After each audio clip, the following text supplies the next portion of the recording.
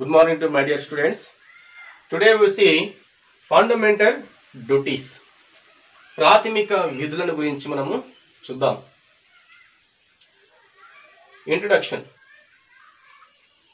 what is the fundamental duties అసలుకి ప్రాథమిక విధులు అంటే ఏమిటి? అవి ఎవరి కోసం ఉన్నాయి? ప్రజాస్వామ్య దేశంలో మన భారతదేశంలో ప్రాథమిక హక్కుల గురించి మనం చెప్పుకున్నాం.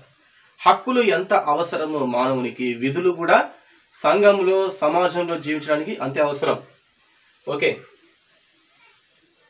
మన రాజ్యాంగంలో forty second amendment act of nineteen seventy six add ten fundamental duties. మన రాజ్యాంగంలో నలభై రెండవ రాజ్యాంగ సవరణ చట్టం ద్వారా పంతొమ్మిది వందల డెబ్బై ఆరులో పది ప్రాథమిక విధులను యాడ్ చేయడం జరిగింది. సో ఈ యొక్క ప్రాథమిక విధులను ఎక్కడి నుంచి తెచ్చుకున్నామంటే this duties adopted from Soviet Russia Russia దేశం నుంచి రష్యన్ కంట్రీ నుంచి మనము ఈ యొక్క ఫండమెంటల్ డ్యూటీస్ని మనం ఏం చేసామంట మన రాజ్యాంగంలో చేర్చుకున్నాం ఇంప్లిమెంట్ చేసుకున్నాం పొందుపరుచుకున్నాం. ఓకే?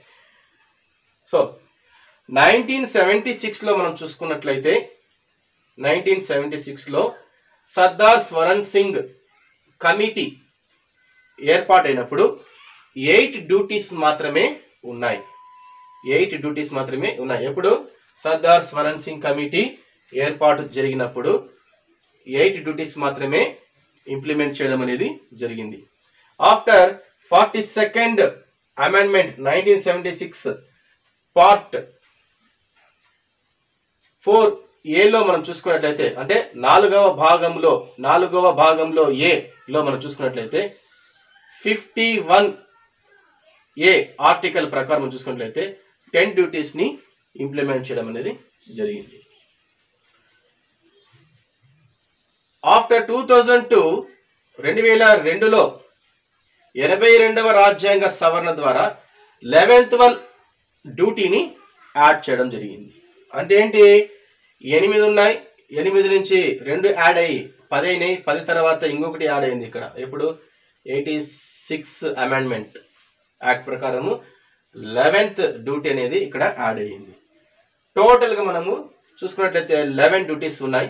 ఈ లెవెన్త్ డ్యూటీ వచ్చేసి nineteen seventy seven January third. Nineteen seventy seven January థర్డ్న ఈ యొక్క డ్యూటీ అనేది ఇందులో కలపడం అనేది జరిగింది. సో టోటల్గా మనం చెప్పుకున్నట్లయితే సమాజంలో ప్రతి పౌరుడు విధులను అనుసరించాలనే ఉద్దేశంతో ప్రాథమిక విధులను ప్రతి పౌరుడు ఖచ్చితంగా ఇంప్లిమెంట్ చేయాల్సిందే అనే ఉద్దేశంతో ఈ యొక్క విధులను రాజ్యాంగంలో పొందుపరచడం అనేది జరిగింది. మనము వన్ బై వన్ చూసుకున్నట్లయితే the first one fundamental duty the first one to abide by the constitution and respect the national flag and national anthem భారత జాతీయ గీతాన్ని భారత జాతీయ జెండాను మనం ఏం చేయాలంట? గౌరవించాలి. రెస్పెక్ట్ ఇవ్వాలి.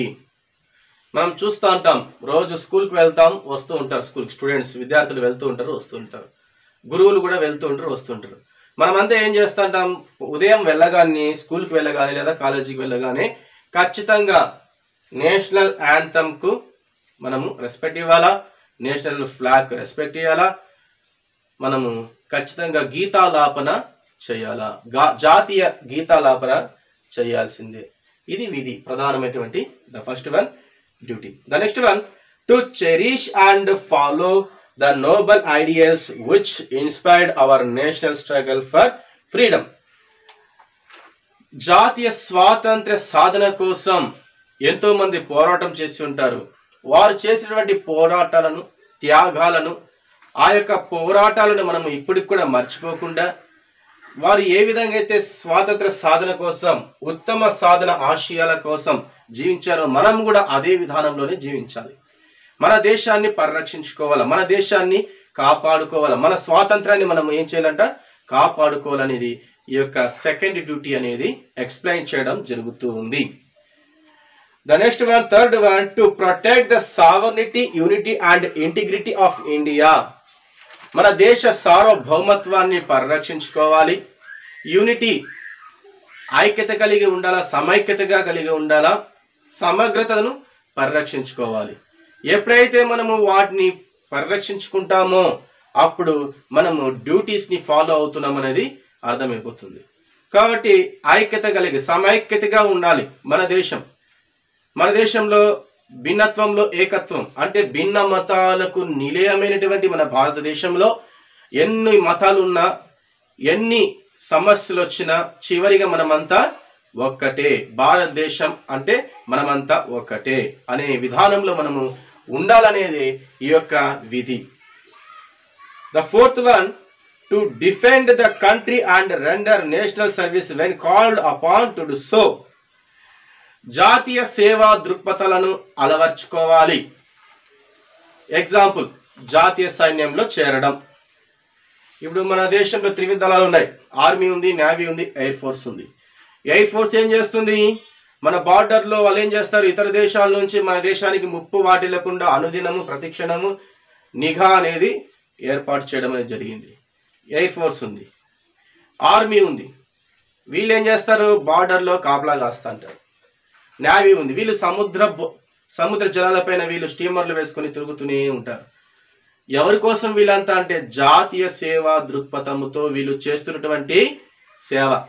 అట్లే మనము కూడా విద్యార్థులుగా ఉన్నప్పటి నుంచి చదువులు అయిపోయిన తర్వాత కూడా జాతీయ సేవా దృక్పథముతో మనము దేశ సేవ చేయడానికి పూనుకోవాలి. ఇది అలవర్చుకోవాలి. ఎప్పుడు మనమైతే ఈ యొక్క విధిని పాటిస్తాము. అప్పుడు మన దేశము సార్వభౌమత్వాన్ని కాపాడేటువంటి వారిగా ఉంటాం. అదేవిధంగా సర్వీస్ అనేది నేషనల్ జాతీయ సేవ అనేది చేసేటువంటి వారిగా ఉంటాము అన్నమాట ఇవన్నీ కూడా చేయాలని ఈ యొక్క ఫోర్త్ డ్యూటీ ఎక్స్ప్లెయిన్ చేయడం అనేది జరుగుతుంది. The fifth duty. To promote harmony and the spirit of common brotherhood amongst all the people of India and the renounce practices derogatory to the dignity of man మహిళల పట్ల ఎలా ఉండాలంటే గౌరవంగా ఉండాలి. మహిళల పట్ల గౌరవం చూపాలి. అత్యాచారాలు నేరాలు ఘోరాలు పెరిగిపోతున్నాయంటే ఈ యొక్క విధి అనేది ఫెయిల్యూర్ అవుతుంది అర్థం. అందుకే భారత రాజ్యాంగంలో ఈ యొక్క విధిని చేర్చారు. మహిళల పట్ల అరాచకాలు జరగకూడదనే ఉద్దేశంతో ఈ విధిని పెట్టారు. కాబట్టి ఈ విధిని ఫాలో అవ్వాలి. ఈనాడు మనం చూస్తుంటున్నాం ఎన్నో జరుగుతుంటున్నాయి సమాజంలో. ఎందుకంటే ఈ విధి అనేది ఫెయిల్యూర్ అవుతూ ఉంది. ఫెయిల్యూర్ కాకూడదనే ఉద్దేశంతోనే ఈ విధిని ఇక్కడ పెట్టారు. కాబట్టి ఎవరైనా అట్లా ఇబ్బంది కలిగిస్తే సమాజంలో వారిని ఏం చేస్తారంట? చట్టం వారిని శిక్షిస్తుంది. కాబట్టి రాజ్యాంగంలో ప్రతిదీ కూడా ప్రతి ఒక్క సమస్యకు కూడా ఏముందంట? సమాధానం అనేది చూపడం జరిగింది. కాబట్టి మహిళల పట్ల మరి పురుషులు ఎలా ఉండాలంటే గౌరవప్రదంగా చూడాలి. ఇతరుల పట్ల కూడా సోదరాభావంతో వ్యవహరించాలి సమానంగా ఉండాలి ఐక్యత కలిగి ఉండాలి. దేశాన్ని అభివృద్ధి పథంలో నడిపించే విధానంలోకి దూసుకు వెళ్ళాలనేది ఈ యొక్క విధి యొక్క ఉద్దేశం. కాబట్టి ఇది ఖచ్చితంగా మనము తెలుసుకోవాలి. Okay? The next one sixth one to value and preserve the rich heritage of our composite culture. వారసత్వంగా మనకు వచ్చినటువంటి యొక్క సంపదలన్నిటి కూడా మనం పరీక్ష పరిరక్షించుకోవాలి. వారసత్వంగా పూర్వకాలం నుంచి నేటి వరకు మన సంపదలు అయితే ఏవైతే ఉన్నాయో ఎగ్జాంపుల్ మనం చూసుకుందాం. బ్రిటిష్ వారు మన దేశానికి వచ్చారు. మన దేశంలో ఉన్నటువంటి సంపద మొత్తం వాళ్ళు కొలగొట్టుకుని వెళ్ళిపోయారు. ఇప్పుడు ఏదో కొద్దిగా మిగిలింది. ఆ ఉన్న సంపదలను మనము ఏం చేయాలంట? భద్రపరచుకోవాలి. ఎగ్జాంపుల్ హిస్టారికల్ బ్యాక్గ్రౌండ్స్ కావచ్చు టూరిజం ప్లేసెస్ కావచ్చు. చారిత్రకమైనటువంటి కట్టడాలు కావచ్చు మన సాంప్రదాయాలు కావచ్చు ఇవన్నీ కూడా మనం ఏం చేయాలంటే భద్రపరచుకోవాలి అభివృద్ధి పరచుకోవాలి కాపాడుకోవాలి. Okay? The next one to protect and improve the natural environment including forests చూడండి. ఎన్విరాన్మెంట్ని కూడా మనము ఏం చేయాలంట?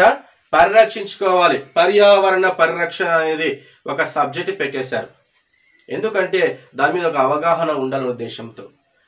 ఎందుకంటే పర్యావరణాన్ని మనం ఎందుకు పరిరక్షించుకోవాలంటే పర్యావరణాన్ని పరిరక్షించుకోవడం వల్ల మనకి ఎన్నో అవకాశాలు ఉన్నాయి ఎన్నో ఉపయోగాలు ఉన్నాయి.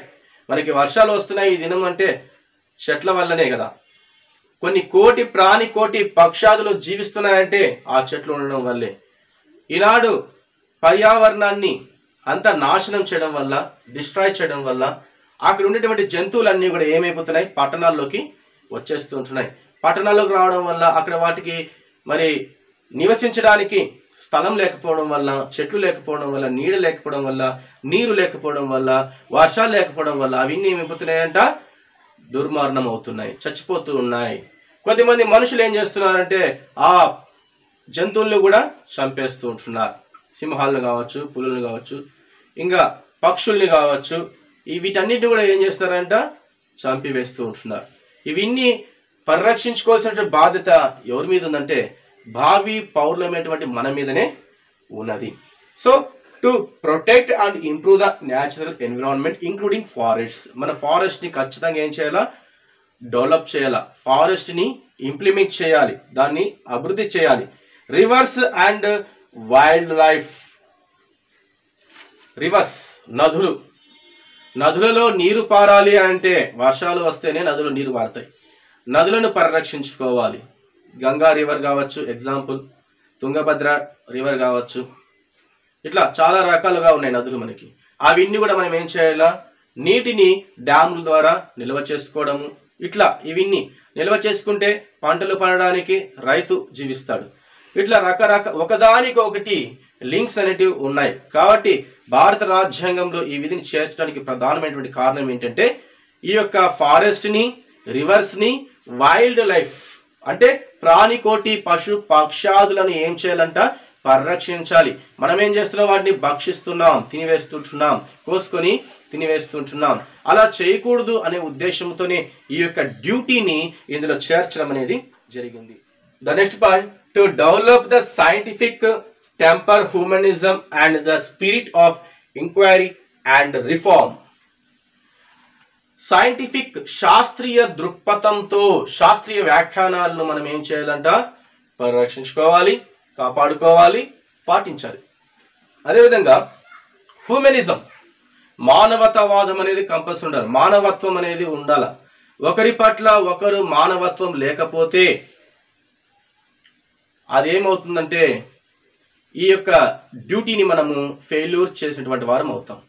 మనము ఈ డ్యూటీని ఖచ్చితంగా పాటించాలి. మానవత్వపు విలువలను పెంపొందించుకోవాలి. మానవత వాదంతో జీవించాలనేదే ఈ డ్యూటీ యొక్క ఉద్దేశం. కాబట్టి ఇతరుల పట్ల ఏం చేయాలంటే మనము మానవ దృక్పథంతో మానవతా వాదంతో వ్యవహరించాలి. కర్కశత్వంతో ఒక శత్రు భేదంతో కుళ్ళు కుతంత్రాలతో అట్లా ఉండకూడదు అనేది ఈ డ్యూటీ చెప్తున్నది. ఎట్లా ఉండాలంట? మానవత వాదంతో ఉండాలి. మానవతవాదం అంటే ఏంటి? ఇతరుల పట్ల మనము కనికరము దయ జాలి ఈ విధానంలో ఉండని ఉద్దేశమే ఈ యొక్క duty. The next one so the next one the safeguard public property and to abjure violence సమాజంలో ఉన్నటువంటి ప్రభుత్వ ఆస్తులనైతేనేమి?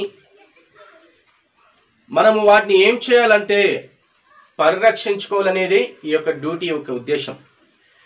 మనం ఏదైనా సమస్యలు వచ్చినప్పుడు కష్టాలు వచ్చినప్పుడు బాధలు వచ్చినప్పుడు రాస్తారోకులు అంటాము స్ట్రైక్స్ బందులు చేయడం ఏదైనా సమస్య వస్తే శాంతియుతంగా చర్చించుకునేటువంటి విధానంలో ఉండాలే కానీ బస్సులను తగలబెట్టడం రైళ్ళను తగలబెట్టడం ప్రభుత్వ ఆస్తులను ఫర్నిచర్స్ ధ్వంసం చేయడం ఇట్లాంటివి చేయకూడదు.